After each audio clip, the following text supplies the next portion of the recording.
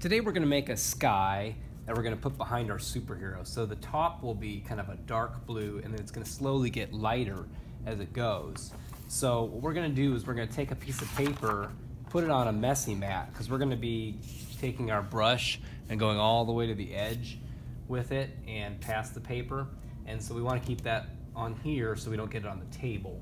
I'm going to do the first thing I do is always the same. Take out my pencil and write my name. Then I can turn this over.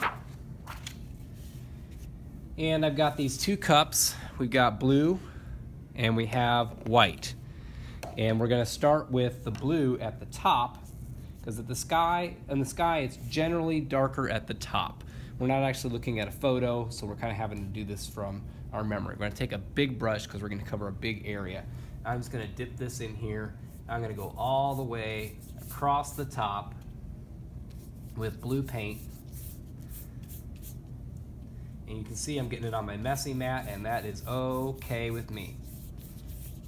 So next, as I start to get this on here,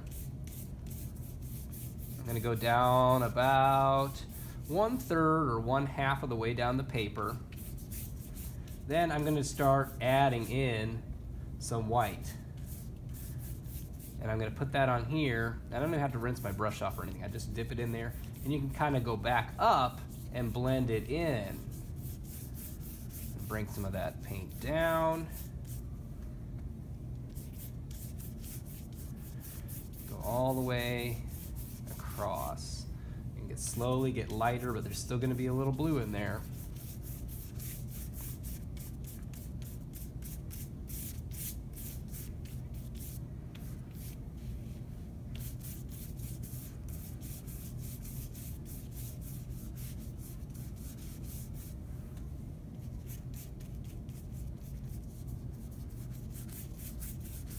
That's going to give us that beautiful sky to go behind our city that our superhero will be protecting. And then I just simply will put my brush away and I pick this up by the messy mat so I don't have to get my fingers on the painting and then I can take it off to the drying rack.